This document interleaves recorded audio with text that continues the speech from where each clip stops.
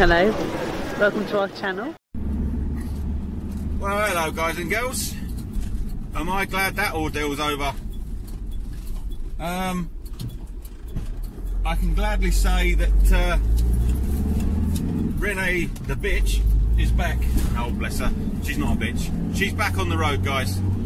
And I'm so glad she is. Oh, God. I know everybody's got it worse, you know. And there is people out there that got it worse than me, and I appreciate that. You know, but I need to get this off my chest. Just have a little, as Jonah says, 365 outdoors, have a little whinge. you got to have a little whinge, didn't you? You got to. Um, but yeah, she's all done. Thank God.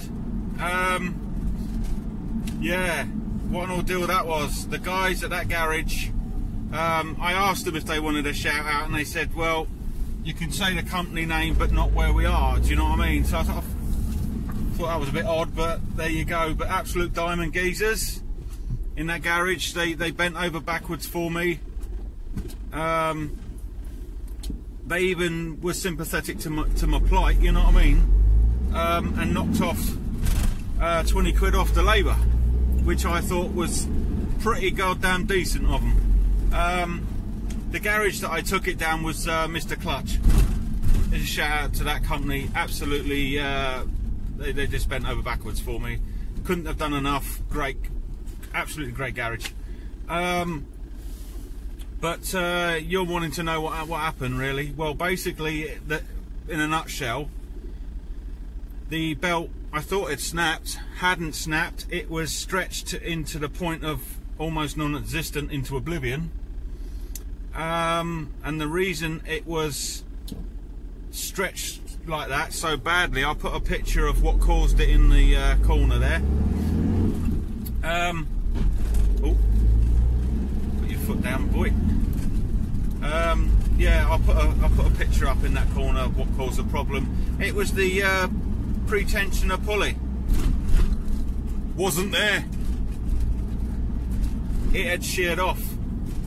Completely sheared off. I mean, how rotten must that have been to have sheared off completely? So it's a good job I did take it to a garage because I wouldn't have been able to do that job. And I know a lot of you, you know, sorry, but it hurts sometimes when people, you know, they don't either they don't they don't know the whole story about my health or they're just too fucking narrow-minded. Sorry, but it upsets me a little bit because you know I'm not gonna get I'm not gonna go into it. I don't want the sympathy vote, but I'm not well. I'm just not a well man. And whoever invented that that phrase, the, you know, the mind's willing but the body ain't, clever person. So it's frustrating knowing the knowledge you've got and you can do it, but the body just it won't let you do it. Anyway, stop rambling on. Yeah, it was a pretensioner pulley just sheared completely off and caused the uh, the, the belt to completely. Well, I, I kid you not, it was about a millimetre and a half, possibly two millimetres thick. It stretched it that that badly. Um, and then he said, right, are you sitting down? I said, well, yeah. I said, the belt would have cost such and such, such and such. He said, well, with the labour and the pulley and the belt, you're looking at 200 sheets. And I thought, for Christ's sake, seriously, how much more money have I got? I have. We haven't even gone away in this thing yet. Do you know what I mean? I know I'm moaning, but I got I, I got to get my moan out. But but the positive thing is, number one, she's done. And the steering feels fantastic. Two, it's one less thing to go wrong, isn't it? That's the way I look at it, and I can't give up on this. You know, she's old. A lot of people, you know, might think she's a piece of shit, but do you know what?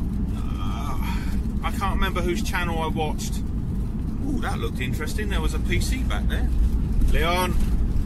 Um, but you know what? A car, yeah, it's a, it's a certain thing, but a camper van, you do. I don't know who said it. I watched somebody's channel, but you do get attached to these vehicles.